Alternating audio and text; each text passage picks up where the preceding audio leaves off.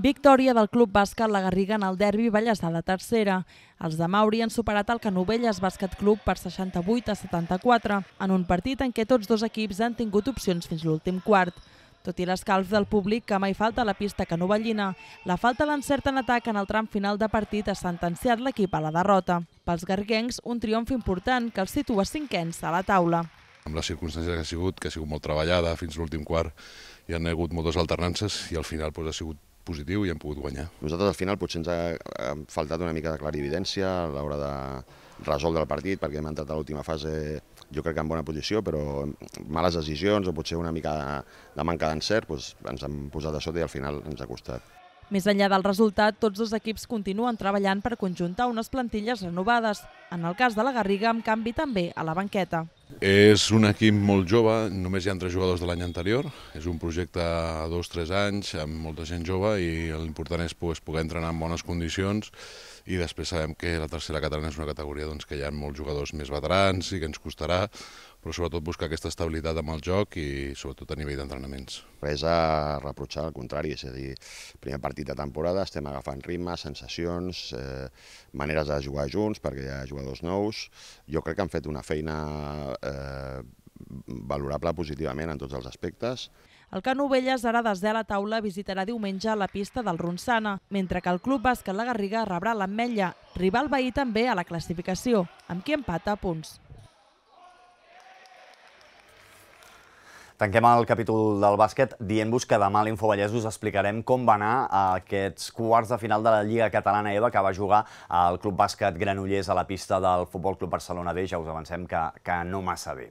Canviem d'esport, eh, parlem de futbol i és que ens volem sumar al centenari de la Unió Esportiva Aigua Freda, el club de futbol d'Aigua Freda, que aquest cap de setmana va jugar al partit del centenari.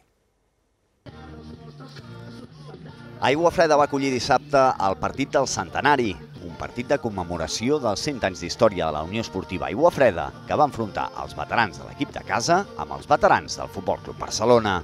Un partit per rememorar temps passats i per posar en context la llarga trajectòria d'un club ara ja centenari.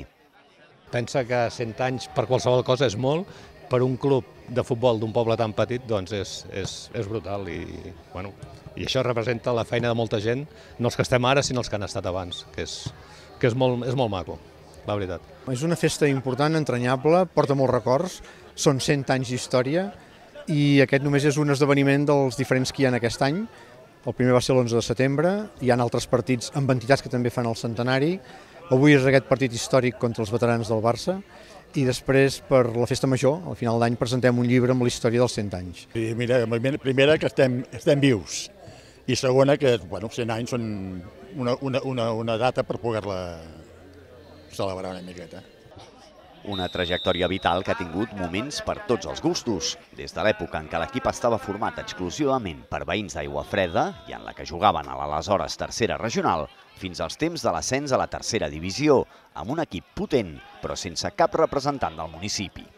Hi ha hagut de tot, hi ha hagut de tot. Pensa que hem estàvem a tercera regional en el seu temps, vam pujar a segona regional, ens vam estabilitzar molt a segona regional, va haver-hi una època que estàvem a tercera regional i érem els últims sempre, llavors eh, va entrar una altra junta i de la tercera regional es va arribar a la tercera divisió, amb fitxatges d'altra gent, jugant a, a altres camps perquè no tenien camp, però bueno, al final ens hem estabilitzat a Conte Grec ens toca, que és a tercera catalana. Dissabte la pilota va tornar a ser el centre de totes les mirades al municipal d'Aigua Freda, amb un partit d'alt nivell davant dels veterans blaugrana, amb noms de jugadors com Juanjo Carricondo o Cristian Hidalgo, que van jugar en el seu moment a la primera divisió. Una bona oportunitat per gaudir del futbol d'ahir, avui. Una satisfacció molt gran poder participar amb el centenari, a més, jo per afinitat, i estiu ja molts anys a Figaró, he participat en els campionats aquests que es feien d'estiu entre el Centelles, Eiga Freda, la Garriga, el Figaró, l'Ametlla, i per tant, doncs, bueno, per mi és com si tornés a casa. Un partit del centenari que va comptar també amb la presència al municipal de l'exjugador i exentrenador del Barça, Charlie Reixac.